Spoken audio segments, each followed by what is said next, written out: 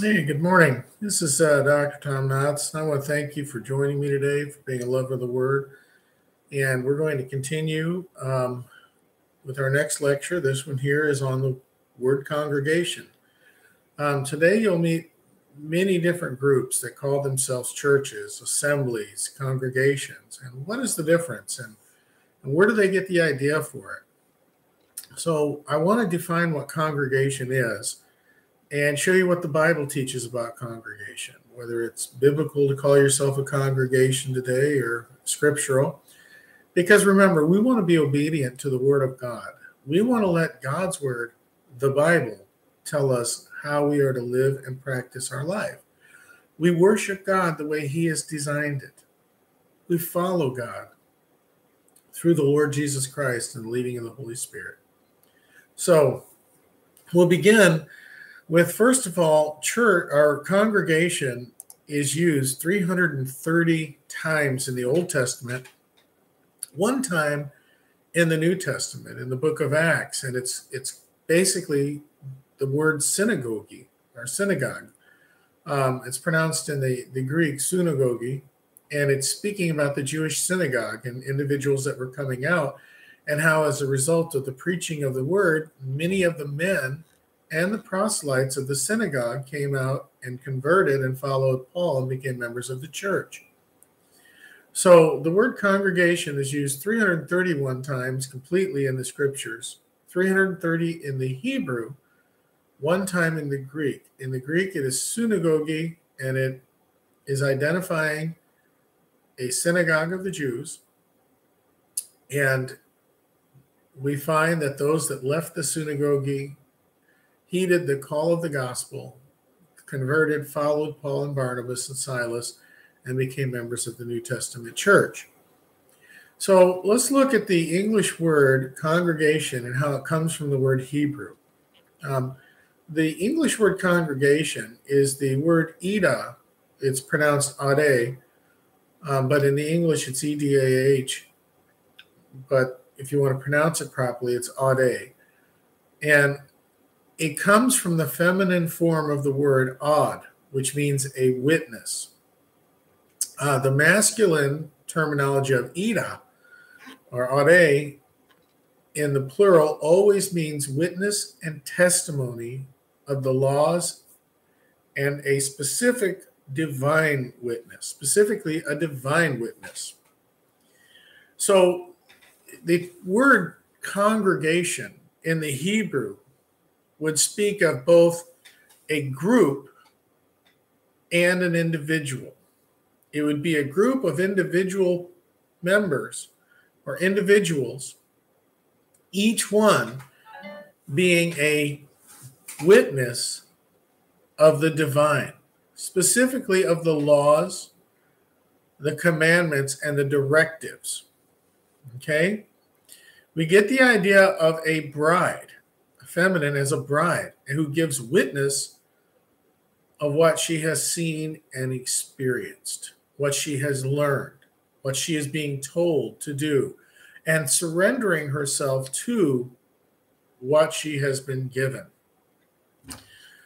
But here's what it is, is, is when these individuals come together, they come together, they congregate for the purpose of learning what the divine, so it's specifically a word that's used for those that come together to learn about God from God's word so that they can be a witness.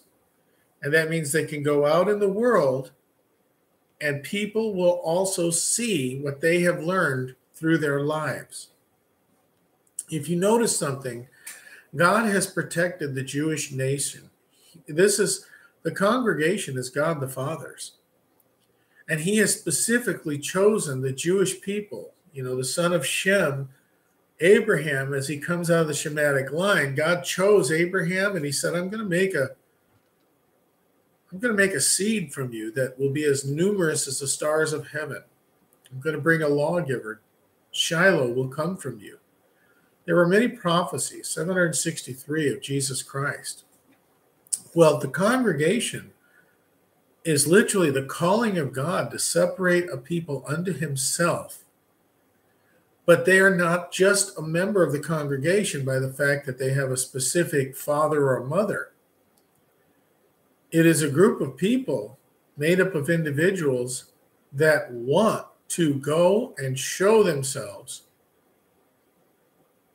to God, surrendering themselves to God, and living their life to express and show God through their life. The congregation was made up of people that would have a life of separation. They were to be what they, the term today is as kosher. Kosher means genuine or legitimate. It means that which is real. The life of a member of a congregation was to show the reality of God and that they not only believed in God, but they believed in God to the extent that every aspect of their life was a testimony and a witness of his divinity and that he alone was divine. If you went to the Jewish house, you would see on the gate, if they were a true member of a congregation, on the gate, it would have the word of God written. On the posts of the fence of their property, their markers would be the word of God written. On the corners and posts that supported their home would be the word of God written. The husband would teach the wife and children the word of God. That would be what he taught them daily. Their lifestyle was to be a lifestyle that was a witness to the Word of God. For instance, they would not work after dark.